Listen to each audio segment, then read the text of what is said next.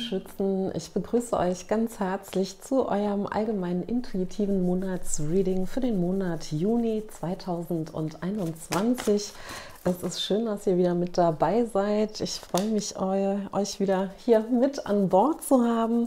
Und ja, wie immer möchte ich mich ganz herzlich bedanken bei allen, die hier den Kanal so wunderbar unterstützen durch die Abos und Likes mit den wunderschönen Kommentaren und auch den schönen Botschaften, die mich per E-Mail erreichen und natürlich auch nochmal ein ganz, ganz herzliches Dankeschön an alle, die den Kanal mit Spenden unterstützen. Ja, und ein herzliches Willkommen natürlich auch an alle, die hier zum allerersten Mal mit dabei sind bei Kings and Queens Tarot. Ähm, ich möchte hier noch so ein paar Dinge im Vorfeld kurz ansprechen. Es ist also, wie gesagt, eine allgemeine und auch intuitive Legung. Und das kann durchaus bedeuten, dass nicht jeder sich hier angesprochen fühlt oder sich nicht jeder wiedererkennt in dieser Legung oder sich eben auch ergänzende Botschaften vielleicht äh, wünscht. Ja, dann seid ihr natürlich sehr herzlich eingeladen, euch eines der anderen Videos anzuschauen zu eurem Aszendenten, zu eurem Mond oder auch zu eurer Venus. Und dann findet ihr dort vielleicht die passenderen Botschaften oder eben auch ergänzende Botschaften. Und wer ganz konkrete Fragen hat, darf natürlich auch sehr gerne mal hier unten in der Videobeschreibung schauen. Dort findet ihr den Link zu meiner Website. Ja, die Themen, die ich anspreche, sind für gewöhnlich ähm, die Themen Beruf und oder auch Beziehung. Manchmal sind die Legungen auch sehr spirituell, dann kommen sehr spirituelle Botschaften aus der geistigen Welt. Ich kann es im Vorfeld nicht immer so genau abschätzen und ich kann auch nicht immer alles ansprechen, was ich sehe, äh, weil sonst einfach die Videos viel zu lange werden. Das ein oder andere müsst ihr vielleicht so ein bisschen übersetzen auf eure eigene ähm, Situation. Und noch ganz kurz, Königinnen und Könige und der Herrscher und die Herrscherin sind in diesen allgemeinen Legungen geschlechterunabhängig, können andere Personen anzeigen, aber auch durchaus eure eigenen Energien widerspiegeln. Und zwar geben die Königinnen mehr die Innenschau wieder, wie ich innerlich mit einem Thema umgehe. Und die Könige beziehen sich mehr auf die äußere Handlungsebene, also wie ich im Außen mit einer Situation umgehe. Genug der Vorrede, eure Karten liegen auf dem Tisch und das sieht total spannend aus, was sich hier bei euch gezeigt hat. Viel Veränderungsenergie, ähm, Klarheit sehe ich, aber gehen wir mal eins nach dem anderen an. Wie immer fange ich hier mit der ersten Karte an, die ja so ein bisschen auch als Themenkarte verstanden werden kann. Sprich, diese Energie, das ist so der Grundton, äh, der sich jetzt durch den kommenden Monat zieht. Bei euch ist es ein Ass und zwar das Ass der Schwerter. Ja, das Ass der Klarheit, der eigenen Wahrheit, der eigenen Wahrhaftigkeit, der eigenen Erkenntnis hat dadurch eben auch oft zu tun mit gewissen Entscheidungen, die getroffen werden.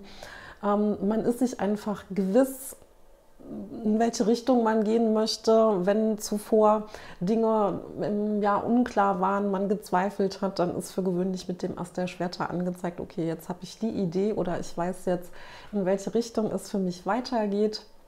Oder wenn ja bestimmte Dinge nicht so richtig zu durchschauen waren, ähm, Unklarheit in irgendwelchen Bereichen geherrscht hat. Ja, also hier kommt jetzt so äh, ja, der, der, die Gewissheit einfach zu euch. Ja, und das führt eben oft dazu, dass man durchaus Entscheidungen trifft. Ähm, die kann, das kann schon mit anzeigen, dass manchmal auch Trennungen stattfinden im, im, Beziehungsbereich, aber auch, dass man sich vielleicht von einem bestimmten Beruf oder von einem bestimmten beruflichen Umfeld äh, trennt ja, und was Neues eben anfängt. Ähm, also das ist, sieht schon mal ganz spannend aus. Generell nochmal hier jetzt kurz zur Erinnerung, ja, also Asse sind immer erstmal ein Potenzial, eine Tür, die da ist. Es liegt immer auch so ein bisschen an unserer Aufmerksamkeit, an unserer Wachheit, mm, das dann auch wahrzunehmen. Okay, ich lege jetzt einmal mal noch Klärungskarten dazu. Die Sonne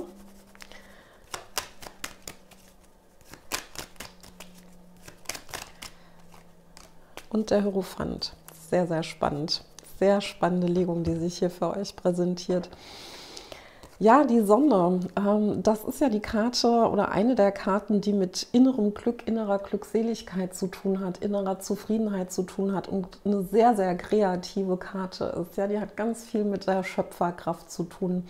Und mir scheint, hier ist so ein bisschen die Erkenntnis, über ähm, die Talente, die ein, in einem vielleicht so ein bisschen schlummern, äh, die man bisher noch nicht für sich entdeckt hat, die vielleicht oder die neu, eine neue Bedeutung für einen bekommen. Ja, man entdeckt vielleicht in sich neue Aspekte ähm, und hier kann es durchaus sein durchaus auch sein, dass man äh, das, sein Leben in der Form umgestaltet, ja, dass dieser Aspekt der inneren Freude, der inneren, ähm, ja, des inneren Kindes auch irgendwo so ein bisschen, ja, das Spielerische, Schöpferische, äh, dass das mehr Platz bekommt im eigenen Leben. Ja, es, mir scheint hier ist so eine Umstrukturierung irgendwo im Alltag äh, möglicherweise generell auch so im Beziehungsbereich, Freundeskreis, ähm, Bekanntenkreis, ja, durchaus auch romantische Beziehungen, die hier durch, äh, davon betroffen sein können. Ja, sprich, man sieht einfach, okay, mit wem habe ich noch eine Verbindung und mit wem äh, hat sich es irgendwie vielleicht so ein bisschen auseinandergelebt. Hm, welche Beschäftigung, welche beruflichen Interessen habe ich vielleicht schon lange, aber habe mich nie getraut, denen nachzugehen. Aber ich spüre jetzt, okay, ich bin jetzt bereit, ich möchte diese Dinge ausprobieren, ich möchte hier mehr entdecken in mir, von mir und vielleicht auch weitergeben können. Ja?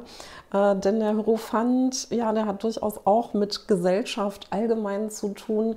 Der hat damit zu tun, dass man sich weiterentwickelt. Das ist die Karte des Lehrers und in der hohen Schwingungsebene sogar auch der spirituelle Lehrer. Also hier stehen oft ja wirklich auch diese inneren Erkenntnisprozesse dahinter. Und ich denke, der die Motivation sozusagen ist die Sonne. Ja, hier ist so ein Streben nach innerer Zufriedenheit. Mm, und das ist wunderbar, weil das auch anzeigt, dass hier vielleicht so ein Wandel stattfindet, dass man dieses Glück nicht mehr im Außen sucht und sich dann auch abhängig macht von äußeren Umständen, sondern dass man dieses Glück jetzt in sich selbst sucht und auch findet, ja, und das auch weiterentwickelt in, in verschiedene Lebensbereiche einfließen lässt, ja. Also das ist schon mal hier ein ganz, ganz wunderschöner Start für euch. Und ich hatte es vorhin schon angesprochen, die Asse sind eben ein Potenzial, eine Tür, die sich hier öffnet. Und die Buben sind dann tatsächlich die Folgekarten ähm, in der Reihenfolge des Tarot. Sprich, die stehen auch dafür, dass man sich diesen Möglichkeiten, diesen Potenzialen gewahr wird und die auch annimmt und damit arbeiten möchte, die umsetzen möchte. Und ja, also der Bube der Schwerter nimmt sozusagen diesen Erkenntnisprozess, diese innere Klarheit, diese Wahrheit und steht sozusagen dafür ein und arbeitet eben damit. Ja, und der Bube der Schwerter hat ganz viel zu tun mit Kommunikation, mit Austausch, Austausch möglicherweise mit Gleichgesinnten ähm, generell sich zu informieren ähm, in, in Bereiche, die mich vielleicht interessieren und bei denen ich noch nicht so viel Wissen habe. Ähm, ja, also ich denke, hier kommt unglaublich viel in eurem Leben äh, in Bewegung jetzt im, im Juni. Auch hier lege ich mal die Klärungskarten dazu und es ist auch fantastisch zu sehen, ja. Ähm, diese Reihe hier mit dem Ast der Schwerter, Bube der Schwerter, Ritter der Schwerter, das ist wirklich ein Entwicklungs- und Wachstumsprozess.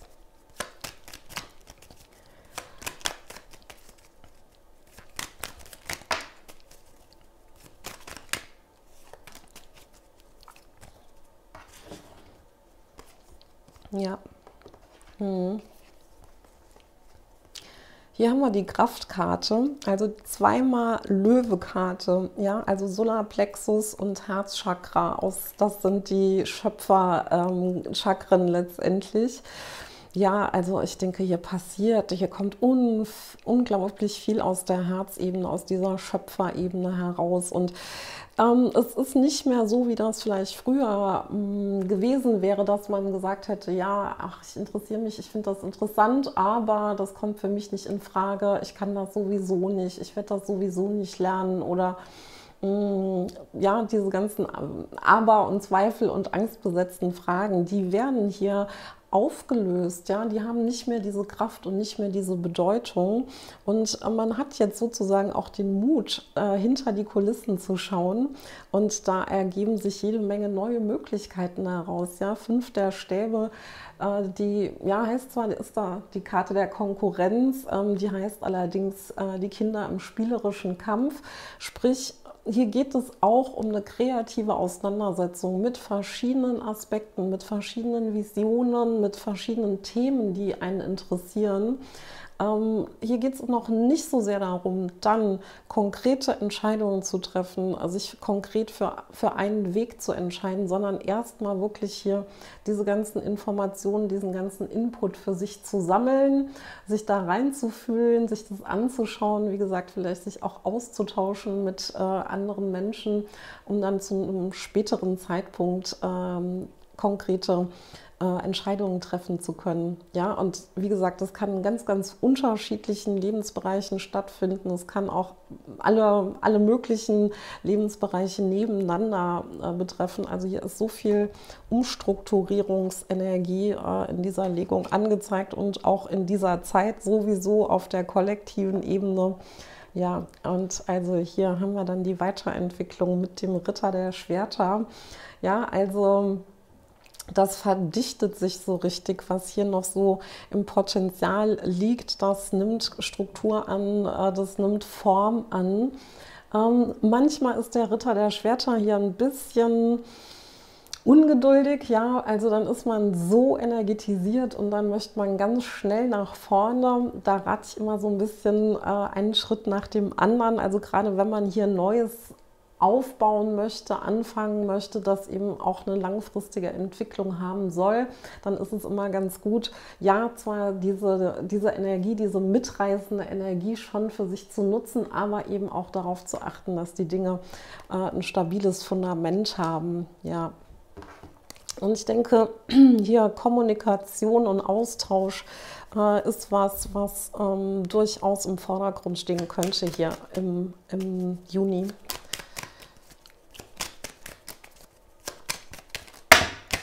Tja, dies, das ist jetzt zu viel. Ich bitte um einzelne Karten. Oh, fünf der Schwerter, die Konfliktkarte und neun der Stäbe. Okay, ja. Also das kann natürlich sein, dass hier im Vorfeld sozusagen noch ein Konflikt der, oder ein Konflikt sozusagen, wie soll ich das formulieren, Auslöser möglicherweise ist, der diese Entwicklung hier jetzt anschiebt, ja. Das kann ein innerer Konflikt sein, der aus Ängsten und Zweifeln zum Beispiel heraus äh, geschieht. Es kann natürlich auch ein äußerer Konflikt sein, ja, in einer Beziehung oder in einer, auf der Arbeit, ähm, im beruflichen Umfeld, im freundschaftlichen Umfeld wo auch immer. Aber dieser Konflikt führt sozusagen dazu, dass ihr für euch eine klare Position findet und euch gewiss seid, ich stehe hier und das ist meine innere Haltung, das ist meine Wahrheit und dafür stehe ich auch jetzt ein. Ja, weil das ist ähm, mit dieser neuen der Stäbe hier noch dahinter. Ähm, das ist ja eine Karte, die ganz viel mit Reflexion zu tun hat, mit sich, mit Analyse auch zu tun hat, sich einen Konflikt genau anzuschauen auch, ja. Was bedeutet dieser Konflikt für mich? Woraus ist der entstanden? Äh, wie kann ich den auflösen? Welche Konsequenzen ziehe ich daraus? Ja? Und ich denke, hier, hier kommt einfach diese Gewissheit für euch. Ja, Gewissheit ist absolut das, das, das Wort, das hier ganz stark sich präsentiert. Mhm. Ja, ähm, die Neun der Stäbe, ja, ist auch eine Schützekarte, Mond im Schützenjahr. Also da geht es eben darum, was hat für mich Gültigkeit und was tut mir gut und was muss, kann ich, darf ich vielleicht in meinem Leben verändern? Welche Grenzen darf ich in meinem Leben überwinden, um in die Weiterentwicklung zu kommen? Ja? Und so unangenehm natürlich Konflikte und Auseinandersetzungen sind, die bergen trotzdem eben oft dieses Potenzial. Ja? Äh, wie ein, ja, letztendlich wie eine Lupe Klarheit zu schaffen ja, ich weiß dann einfach, okay, ja, das ist meins und das ist nicht meins. Und dann kann ich mich da, danach weiterentwickeln. Ja, und ganz wunderbar, hier erwächst das Ast der Kelche daraus, ja, weil durch diese innere Klarheit, durch diese innere Gewissheit, ähm, das geht zum einen natürlich nicht ohne diesen Herzkontakt. Ja, ich muss mich natürlich schon mit meinem eigenen Herzen hier in Verbindung setzen, ähm, um diesen Erkenntnisprozess letztendlich durchlaufen zu können. Und durch diese Gewissheit, die hier angezeigt ist, ja, durch dieses, dieses, ja, diese Kristallisation letztendlich, ja, ähm, komme ich wahrscheinlich eben auch viel mehr in den Mut, meinem Herzen zu folgen, mein Herz zu öffnen, mich meinem Herzen auch zu öffnen. Ja? Ähm, da in Einheit zu gehen mit meiner Herzenergie, mit meiner Intuition. Und ähm, das kann durchaus auch dazu führen, ähm, das möchte ich gar nicht so ausschließen, äh, dass das eben auch eine andere Art von Menschen in euer Leben ähm, sozusagen anzieht, ja, weil ihr in einer ganz anderen Energie seid selber und ähm, dann also auch ja offener seid, ähm, euch wie soll ich das formulieren? Ja, mm, es findet mehr das zusammen, was auch zusammen gehört irgendwo, ja. Ähm, da können neue Freundschaften entstehen, da kann es durchaus sein, dass eine neue Beziehung entsteht. Ähm, ja, ja, äh, auch neue Kooperationen in der beruflichen Ebene, ja, weil das, das hat damit zu tun, dass ihr einfach in einer neuen Schwingungsenergie seid, in einer anderen Schwingungsenergie. Und Menschen, die einen ähnlichen Prozess durchlaufen, ja, und in einer ähnlichen Schwingungsenergie sind, ihr findet euch also sozusagen, ja, das ist wie Magnete, die, die sich anziehen. Ja, ganz spannend.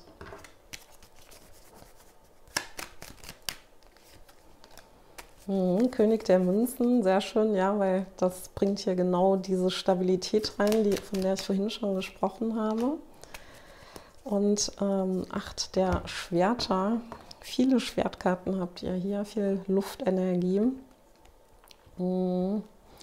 Ja, ich möchte hier auch gleich mal so rum sortieren. Ja, ich denke hier, hier kommt man raus. Ja, das Ass der Schwerter befreit einen hier sozusagen aus diesem Gedankenkarussell. Ähm, wie gesagt, ich denke, hier ist eine Situation oder mehrere Situationen irgendwo im Vorfeld, mm, die vielleicht auch schon eine ganze Weile irgendwo so vor sich hingern, ja, und vielleicht auch zu ganz handfesten äh, Auseinandersetzungen geführt haben. Und mir scheint, ihr kommt hier jetzt aber raus. Ihr werdet euch sozusagen eurer eigenen inneren Kraft bewusst. Ja, es ist wirklich ein Bewusstwerdungsprozess auch irgendwo. Ja, und das, ähm, ja, der König der Münzen kann hier natürlich eine konkrete Person sein, mit der ihr es zu tun habt. Auf der einen oder der anderen Seite, ja, das könnte der Konfliktpartner sein. Es kann aber durchaus auch jemand sein, der hier jetzt neu in euer Leben eintritt, ja, und auch wirklich diese eine gewisse Stabilität hier reinbringt, eine gewisse Ruhe reinbringt. Ähm, vielleicht, wenn ihr berufliche oder andere Projekte, Wohnprojekte oder ähnliches äh, vielleicht angeht, ja, da ist also generell steht der König der Münzen für Stabilität und Sicherheit, langfristige Entwicklung, nachhaltige Entwicklung. Ähm, ja, also unterstützende Energien können hier zu euch kommen und wie gesagt, also mm, es kann durchaus sein, dass hier auch jemand Konkretes im Beziehungsbereich ähm, sich zeigt. Ja, mh, das sieht ganz vielversprechend aus. Ja. Ja, also drei der Stäbe hier in der nächsten Reihe und das, auch diese Karte hat ganz viel Anfangsenergie. Steht oft eben auch im Zusammenhang hier mit solchen Themen, ja, also wenn man längerfristig vielleicht auch mit gewissen Konflikten zu tun hatte oder längerfristig auch irgendwo sich immer wieder zurückgehalten hat aus Zweifeln heraus, aus Ängsten heraus und dann sich überwindet und den ersten Schritt in die nächste, in die neue Richtung tut. Das ist so ein bisschen die Energie dieser Karte. Und ähm, von dieser Position aus sehen die Dinge dann auch schon gleich ganz anders aus, als man sich das vielleicht noch bei der Acht der Schwerter hätte vorstellen können, ja. Ähm, also hier kann man wirklich äh, ja so mh, mm, die Vision sehen. Die Vision wird viel klarer. Es werden neue Ziele klarer. Es werden auch die Schritte klarer, die man gehen muss, um bestimmte Ziele zu erreichen. Äh, auch das ist eine Karte, die oft mit dem Thema Geduld zu tun hat. Ja, also ähm, wie gesagt, wenn die Entwicklung nicht ganz so schnell ist, wie ihr das dann gerne hättet, weil ihr jetzt so energetisiert seid, werdet nicht ungeduldig, geht einfach einen Schritt nach dem anderen. Auch das ist eine Karte, die mit Unterstützung zu tun hat, mit Kooperation zu tun hat, mit Rückendeckung zu tun hat. Ja. Also, ich denke, das hat sowas total Befreiendes, diese Legung von der Energie, die ich hier bekomme. Ähm, ja, wirklich dieses goldene, goldene Licht, das hier so rausscheint.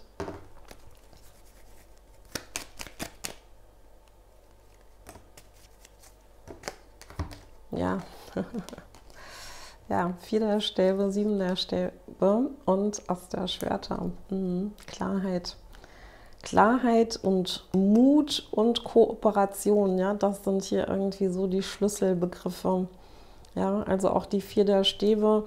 Ähm, ja, eine Karte, die ganz viel natürlich mit Beziehungen zu tun haben kann, also auch romantischer Art, aber darüber hinaus auch wirklich mit Zusammenhalt, mit Freundschaft, mit Zusammenarbeiten. Mhm, ja, ja. Und äh, sieben der Stäbe, auch das eine Karte, die sagt so, okay, ich ich stelle mich dem Neuen, ich nehme Herausforderungen an und da ist so viel Kraft, so viel Energie dahinter. Wow, ich kriege wieder mal wieder Gänsehaut. Ja, und das Ast der Schwerter hier auch nochmal. Ähm, ja, da ist einfach ganz viel Fokus, ganz viel Energie, Schaffenskraft, Kreativität. Ja, so richtig, ihr seid so richtig am Durchstarten. Mhm. Ja. Ja, also Bube der Kelche hier dann in der zentralen Position. Auch sehr schön, dass wir hier diese Kombination Ass und Bube jetzt zweimal schon haben. Ja, also auch diese Herzenergie, die sich hier präsentiert, auch die nehmt ihr an, auch damit wird gearbeitet. Ja, auch hier geht es oft um Kommunikation, um sehr liebevollen, unterstützenden Austausch. Der Bube der Kelche kann auch mit Aussprachen, Entschuldigungen und Ähnlichem zu tun haben. Also je nachdem, wo dieser Konflikt hier ist, welche Situation hier im Hintergrund liegt. Es kann durchaus sein, dass man hier äh, trotzdem sozusagen Friedensgespräche führt, ähm, dass der Konflikt irgendwo ja, sich schon auch auflösen kann oder irgendwo, dass man einen friedlichen Abschluss findet. Ja, selbst wenn eine Trennung zum Beispiel da ist, dass man irgendwo ähm, ja, auf diesen Punkt kommt, wo man sagt, ja, wir, wir, akzeptieren jetzt einfach, wir haben hier andere Ansichten oder wir streben unterschiedliche Dinge an, aber wir äh, können uns hier trotzdem irgendwie gütlich einigen und dann in Frieden kann jeder seiner Wege ziehen. Ähm, wie gesagt, es kann durchaus sein, dass hier im Beziehungsthema sich äh, auch was tut, dass hier jemand ähm, auftaucht und ähm, euer Herz erobert oder dass hier was zusammenfindet, durchaus. Und ähm, mit dem Friedensschluss gilt natürlich nicht nur für äußere Konflikte, auch innere Konflikte, ja, diesen Frieden mit sich selbst zu schließen. Auch das kann hier durchaus angezeigt sein. Ja, Königin der Kelche. Wow. Ja, Herzenergie. Und noch ein Ass, das Ass der Stäbe. Also eure, ach, ich kann das gar nicht beschreiben. Ähm, ja, kann es kaum in Worte fassen, was sich hier so auf der energetischen Ebene präsentiert, ja, dieser Blick nach innen aufs Herz, also Herz ist Trumpf, absolut, ja, und Frieden, dieser Friedensschluss, dieses in Einheit kommen mit der eigenen Herzebene, Friedensschluss, egal ob es hier um einen äußeren Frieden oder einen inneren Frieden geht, dieser innere Frieden führt also dazu, dass ihr hier Zugang bekommt zu neuen Ebenen in euch selbst, neue, hm, wie soll ich das formulieren? Hm, ja, als, als hättet ihr irgendwie eine neue Energiequelle in euch gefunden, ja. Hm, ja, ja. Und ich denke, hier, hier ähm, öffnen sich mehr als eine neue Tür. Ja, also ich denke, hier öffnet sich wirklich eine ganze Reihe neuer Türen. Hier kann auch noch mal so ein bisschen angezeigt sein, weil wir hatten ja auch diese fünf der Stäbe hier schon, dass sich äh, mit der Zeit hier eine konkrete eine, äh, Idee, eine konkrete Vision, ein konkreter Weg wirklich rauskristallisiert und ihr dann auch hier die Gewissheit habt, okay, das ist jetzt genau das Richtige und genau dem folge ich jetzt. Ja. Hm. Mäßigkeit, eure Karte, dann ja, also habt hier Vertrauen, Ihr seid genau auf dem richtigen Weg. Ja, die hat ganz viel auch zu tun mit dem Thema innerer Heilung, durchaus auch Versöhnung im Außen. Mhm. Auch hier allerdings so ein bisschen eine Geduldskarte. Also wie gesagt, ähm, wenn ihr euch so aufgeladen und energetisch fühlt und jetzt alles auf einmal machen wollt, versucht euch ein bisschen zu bremsen oder nicht ungeduldig zu werden und dann die Nerven zu verlieren und dann vielleicht doch zurückzufallen in den Zweifel einen Schritt nach dem anderen, ja. Und auch hier nochmal, also im Beziehungsthema, hier könnte es durchaus sein, dass hier sich jemand ganz Besonderes in eurem Leben zeigt. Ähm, und auch über die romantische Ebene hinaus, ja, auch einfach Menschen, mit denen ihr einen unglaublich guten Kontakt habt, ja, wo einfach das Gefühl da ist, ja, dass ist, das ähm, ja, ist mein Tribe irgendwie. Wir, wir gehören zusammen. Hier ergibt sich was Gutes daraus. Hier ist eine gute Ergänzung. Hier geht es weiter. Oder ja, also ähm, mir fehlt gerade das deutsche Wort dafür. Ja, sowas äh, wie eine Art Wahlfamilie. Ja.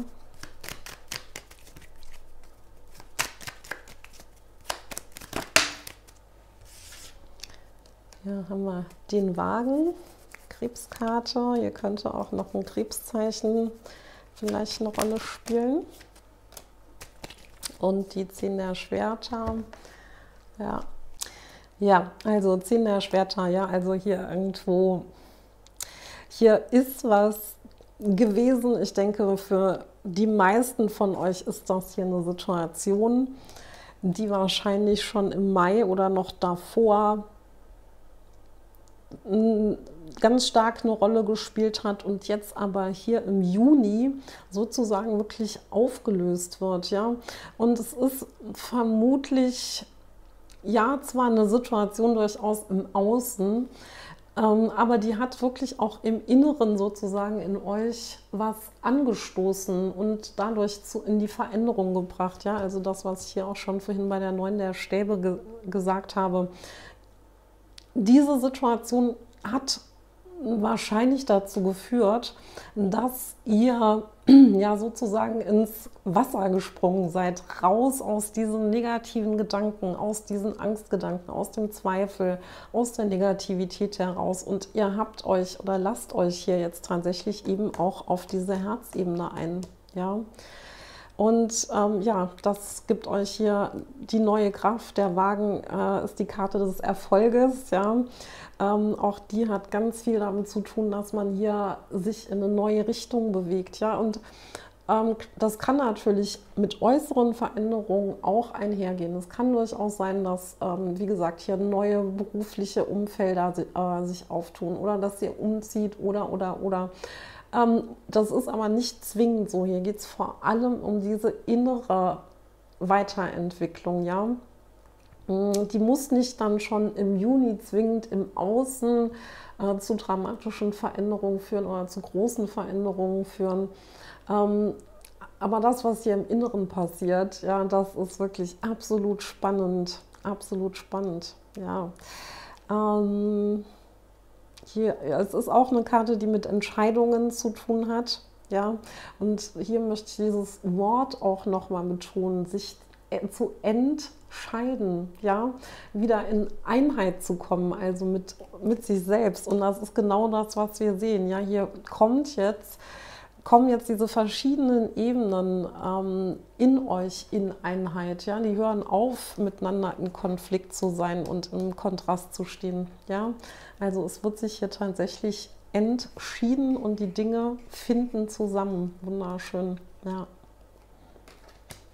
Mhm. Ja.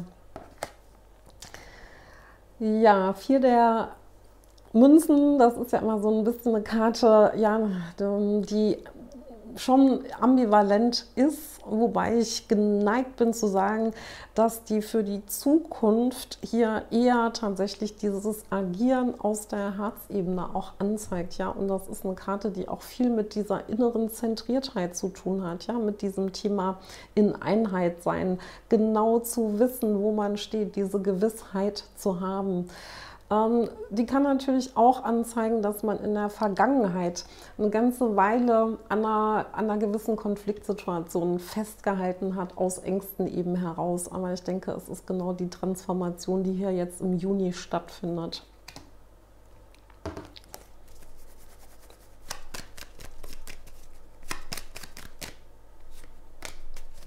Ja, hier haben wir die vier der ähm, Schwerter noch mit dazu, die Karte der Meditation, der Vision, also auch diese ganzen Schwertkarten, die hier in dieser Transformation stehen. Also hier sind wirklich ist eine neue Denkstruktur, steht hier dahinter. Man macht sich andere Gedanken, man richtet sich gedanklich innerlich neu auch aus.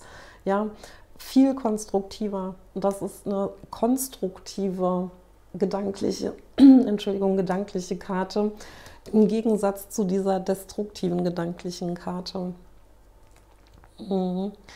Ja, also neue Visionen, neue Visionen, innere Ruhe, innere Klarheit und aus dieser inneren Klarheit kommt diese Aktionskraft. Ja, also wir haben jetzt das dritte Ass-Bube-Paar. Ich weiß gar nicht, äh, was dazu sagen soll, hatte ich glaube ich in der Form bisher auch noch nicht.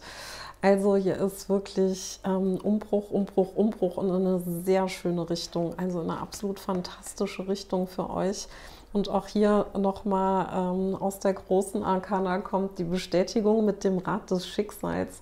Also das steht ja auch eben für wirkliche Umwälzungsprozesse, für Transformationsprozesse und Veränderungsprozesse. Äh, anders als bei anderen Transformationskarten ist bei dem Rad des Schicksals oft aber die Transformation wirklich aus der inneren Entwicklung raus, aus einem inneren Entwicklungsprozess raus, aus dem eigenen inneren äh, Willen heraus und Wunsch heraus. Ja.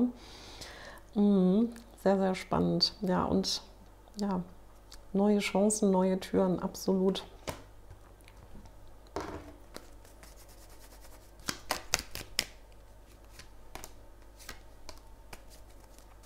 Ja, zwei der Schwerter, ja, hm, innerer Zweifel, der möglicherweise dafür verantwortlich war, dass man hier länger dran festgehalten hat. Hm, aber die, das, hier kommt diese Loslösung ja, raus aus diesem Zweifel. Weil der Zweifel kommt hier eben genau aus dieser Disharmonie zwischen Herz und Verstand. Ja? Das, was eben geschieden hat. Und das wird hier jetzt aufgelöst und zusammengeführt. Tja, und dann haben wir hier mit der neuen der Kelche die Wunscherfüllungskarte der kleinen Arkana. Also Träume Träume werden wahr und macht ihr auch für euch wahr. Ja, ihr setzt hier eure Vision jetzt um. Mhm. Ja.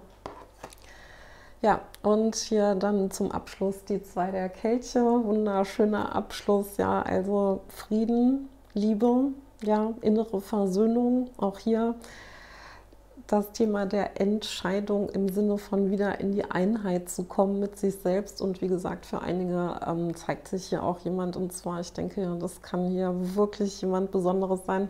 Hier sind einige Karten, die mit dem Thema ähm, Seelenpartnerschaft zu tun haben. Ja, und hier ja, kann es für, für einige sein, dass sich jemand Besonderes wirklich zeigt.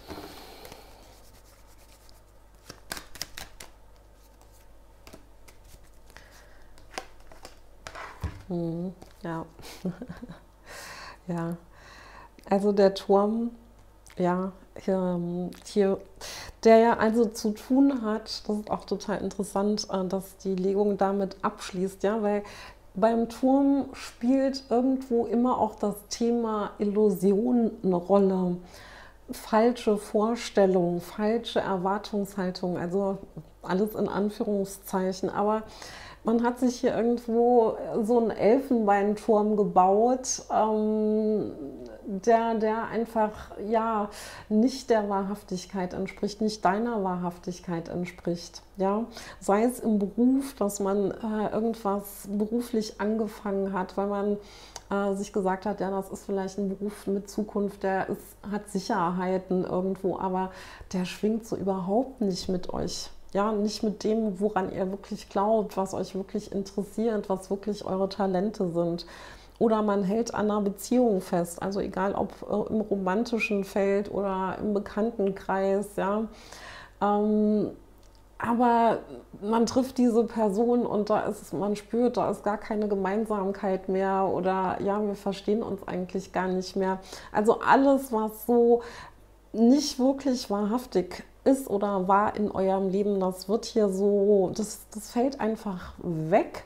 Ja, das fällt irgendwo weg und zum, zutage kommt das, was tatsächlich für euch Gültigkeit hat. Und das kann durchaus sein, dass ihr euch, dass ihr ja so gewiss, auf einer gewissen Ebene euch darüber schon hm, bewusst war zuvor, aber jetzt kommt diese Kraft und dieser Mut dazu, ja, der eben dazu führt, dass ihr sagt, okay, ich lasse das hier los, ich lasse die Dinge jetzt wirklich auch wegfallen und äh, nehme hier mit meiner Wahrheit und mein, mit meiner Klarheit gestalte ich hier meine Zukunft. Ja, und ich kann die eben auch sehen, weil ich jetzt weiß, was wirklich wichtig für mich ist, ähm, wo ich vielleicht auch keine Kompromisse mehr eingehen möchte. Ja, und das alles führt sozusagen auch zu diesem inneren Heilungsprozess. Ja, zwei der Kälte ist eben die Karte der Herz- und der Seelenheilung äh, und führt eben auch dazu, dass möglicherweise sozusagen Raum geschaffen wird in eurem Leben, ne? auch für neue Beziehungen, neue Menschen. Ähm, ja, total spannend und ich denke, dass, äh, das wird hier noch äh, ziemlich spannend, wie es weitergeht, auch im Juli und also diese ganzen Wandlungsprozesse, wer den Kanal öfter mal verfolgt, weiß ja, also dieses ganze Jahr 2021 ist eben auch ein Jahr, das genau mit diesen Energien zu tun hat. Ja, das ist das sind natürlich Herausforderungen und es kann oft auch verunsichern, ja, vor allem wenn man in diesen Punkten steht. Aber sich dann klar zu machen, dass das weitergeht, dass es sich weiterentwickelt und dass hier auch nicht dieser Schmerz äh, der das Ziel ist, sondern eine Begleiterscheinung, auch das kann eben helfen, hier ähm, schneller aus, aus so Konflikten und Ängsten und so weiter rauszukommen, auszusteigen, in den Mut zu kommen, in diese Kraft zu kommen. Ja, und ähm, ja, das ist eigentlich das, was ich euch dazu sagen kann. Und ähm, ich möchte euch aber trotzdem auch noch darauf hinweisen, ich habe ja so eine kleine Miniserie angefangen mit Märchen und Geschichten und Sagen aus der ganzen Welt, aus verschiedenen philosophischen Regionen auch, ja, aus dem Sophismus, aus dem Buddhismus, aus dem Hinduismus, die einfach ja mit den Archetypen auch arbeiten, die wir eben aus dem Tarot kennen und die eben auch ja, Weisheiten, gewisse Wahrheiten, äh, gewisse Inspirationen auch in sich tragen und vielleicht eben auch gerade in diesen verrückten Umbruchzeiten ja, Stabilität geben können, wie gesagt, Inspiration geben können, vielleicht Mut geben können und wem das gefällt, ja, ich werde das hier irgendwo verlinken im Video und auch unten in der äh, Videobeschreibung. Und ja, ihr seid natürlich herzlich eingeladen, euch das anzusehen. In diesem Sinne, ich wünsche euch einen ganz fantastischen Juni und sage alles Liebe von dieser Stelle. Namaste, lasst es euch gut gehen. Tschüss.